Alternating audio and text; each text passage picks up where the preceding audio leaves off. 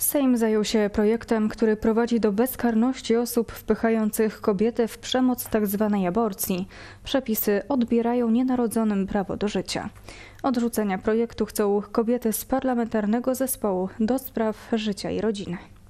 Te projekty w ogóle nie powinny trafić e, do Sejmu. Te projekty powinny trafić do kosza.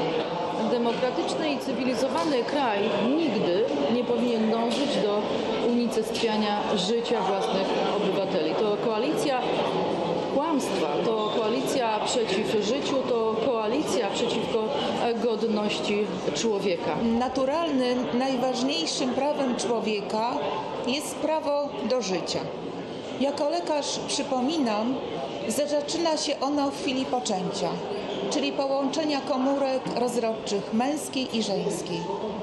Powstający zarodek jest odrębną istotą, mającą swoje DNA. Dziecko usunięte z łona matki poprzez aborcję pozostaje z nią do końca życia. Kobieta zostaje matką, gdy powstaje zarodek w jej narządzie rodnym.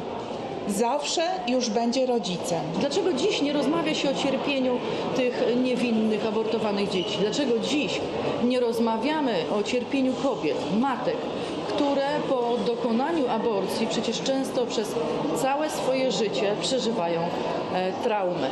Szanowni e, Państwo, zadajcie sobie trud e, i zobaczcie, gdzie jest rzeczywistość. My będziemy głosować przeciwko tym projektom, będziemy głosować za życiem.